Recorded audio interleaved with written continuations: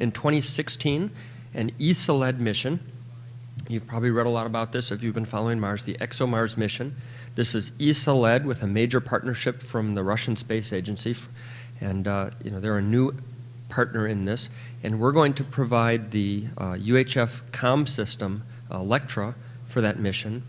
Uh, and one of the things at Mars that's crucially important is the com system to be able to communicate uh, from the Deep Space Network and the European Deep Space Network and Earth, and then from the orbit of Mars down to the surface.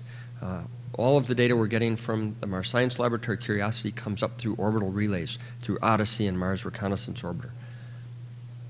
Uh, so, as participants in that ESA led mission, uh, we will join with the science teams as well. So we're going to share in the science data. That's the ESA Trace Gas Orbiter. The Russians and the Europeans are providing the instruments. And there will also be an entry, descent, and landing experiment uh, on that mission, and we'll provide help and engineering uh, as best as we can for that mission. We've offered that up. Uh, the details of that are still to be negotiated. The next step for us is to start working on the memorandum of understanding and the official agreements uh, to allow us to go forward with that. Um, but we're going forward with that. The next big step is 2018.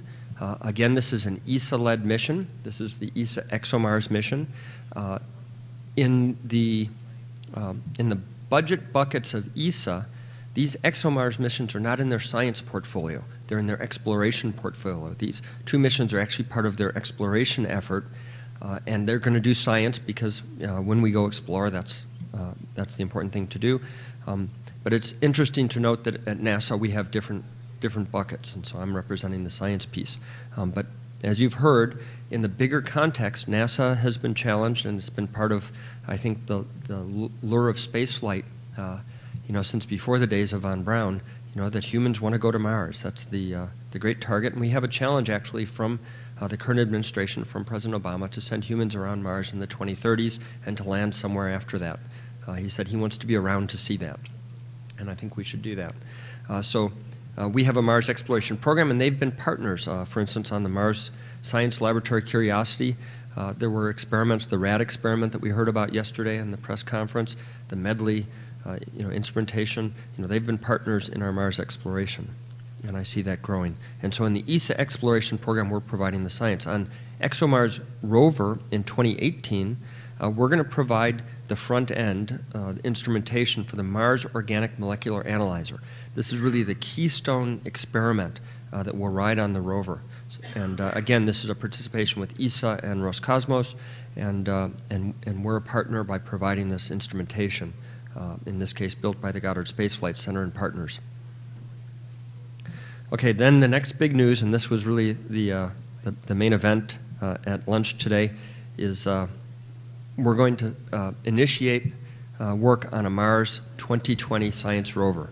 Uh, this is going to be based on the same architecture as the Mars Science Laboratory. Uh, I'm very excited about this. We're going to uh, build a science definition team to come up with the new science responsive to curiosity uh, and, and the science that we've learned from Mars since the decadal survey. Uh, and we'll have to consider you know, all of those aspects, whether we should, uh, what kind of sample handling, what, you know, what kind of drill, if we core, how we analyze the samples, and whether we cache for a future sample return. And so all of that's been queued up. Uh, very excited about. So this is now looking like quite a robust plan. And you know, I think the fact that we were able to uh, address this uh, announcement to the AGU is significant. You know, we've got lots of budget issues. Uh, the, we're still in a continuing resolution for fiscal year 13. There are questions of sequestration. The administration is still considering uh, our input to the FY14 budget process. Um, but all of these things that we've shown here fit within the president's budget request for fiscal year 13. We, we say that it's in guide. You know, maybe that's too much of an inside Washington term, but it means that within the current Mars line that the president has proposed, uh, we can do all of these activities.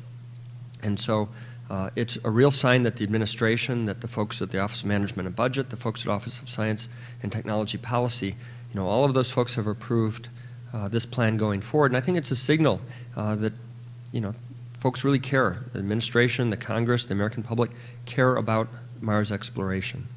Uh, and so we're going to move forward on this pretty rapidly, put together the science definition team. Uh, hopefully, we'll have an announcement of opportunity for instruments out in the June July timeframe next summer. Uh, and in the meantime, we'll be looking at you know, all the components that we have from the Mars Science Laboratory.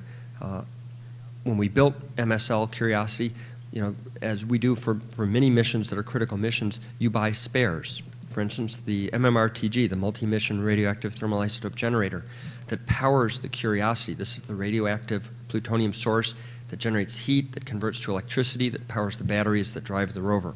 In fact, uh, Curiosity is a hybrid. It has batteries and a power source, and it charges the batteries and then drives, and then at night recharges the batteries.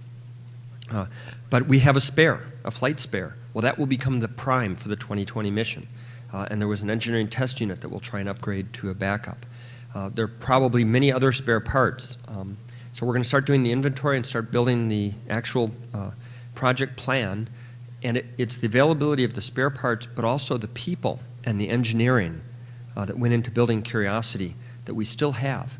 Uh, the team is currently working on analysis of the entry, descent, and landing data from the Curiosity landing. So this whole team of folks at contractors, at the Jet Propulsion Lab, at Goddard Space Flight Center, all around NASA, Langley Research Center, uh, that team is still together, and we're going to then leverage that uh, to build on the Mars 2020 rover, as well as help uh, ESA on the 16 and 18 opportunities.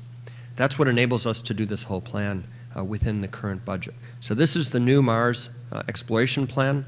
Uh, we are going to work with the Human Exploration Operations Mission Directorate and the Space Technology uh, Group to come up with what the final configuration of experiments and things that we'll do.